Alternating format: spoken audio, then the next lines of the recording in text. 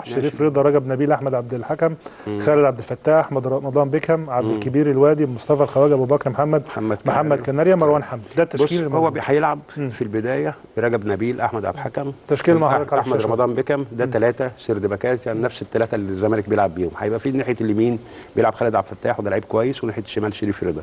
هيأمن في نص الملعب أبو بكر محمد ومحمد كناريا. هيستغل الثلاثه 4 2 3 1 لا 4 لا 3 4 3 3 الطريقة نفس الطريقة نفس الطريقة حي... عندك حي... هيستغل طبعا الحالة اللي فيها مروان حمدي اللي هداف مم. حالة عبد الكبير الوادي وحالة مصطفى الخواجة الهجومية. دول هتبقى الأوراق الهجومية اللي هو هيلعب بيهم. لكن دايما كناري أو بكر محمد هتلاقيهم في تأمين في نص الملعب.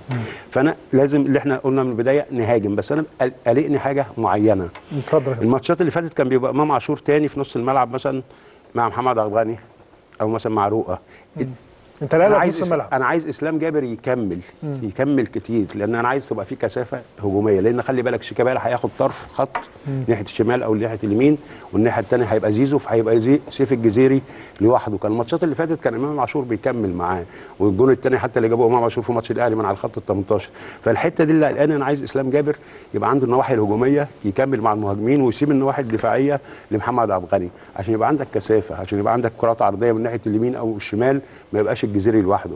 الماتش اللي فات كان مثلا بيخش مثلا مهم الكثافة ما تبقى موجوده كثافه كان آه. بيخش بن شرقي كان بي- بيكمل إمام عاشور فبيبقى عندك حلول لل- للمهاجم اللي جاي له الكورة. فدي الحتة دي بس اللي قلقاني في النواحي الهجومية. أتمنى إن إسلام جابر بيأدي الواجب الدفاعي بتاعه مفيش مشكلة بس مع الواجب الهجومي تكمل كمهاجم تاني تبقى تحت مثلا اللي هو الجزيري وعندك شيكابالا موجود وعندك زيزو موجود يبقى في كثافة يحس إن هجمة نادي الزمالك ليها شكل ليها ليها خطورة. لكن لو لعبنا الثلاثه دول بس وسيبنا الجزيري لوحده هتبقى هتبقى في في gap هتبقى في. آه لا هتبقى في مشكلة إن هم بيلعبوا ثلاثة flat. عندهم أحمد عبد الحكم ده لعيب كويس جدا. عندهم رجب نبيل دبل third back. وعندهم أحمد بيكم هيأمن أكاليبرو.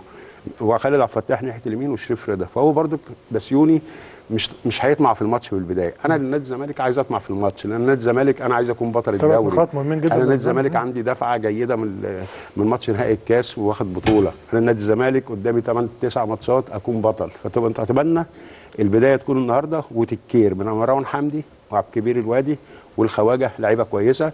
والاستحواذ بتاع سموحة كناريا وعبد أبو بكر محمد أتمنى يتغلب عليهم محمد عبد الغني هيبقى في يعني منافسة جابر كبيرة قوي في نص يبقى في الملعب. منافسة لأن عندهم محمد كناريا لعيب كويس برضه.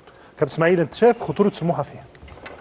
خطورة سموحة أنا شايف في ثلاث حاجات آه اولا الكور الثابتة. بتاعتهم بيعملوها كويس يا ريت يا جماعة لو الكره الثابتة موجودة معانا الكور نجيبها كابتن الثابتة. إسماعيل. في مباراة طلائع الجيش هدف رجب نبيل مباراة ايسترن كامباني هدف مروان.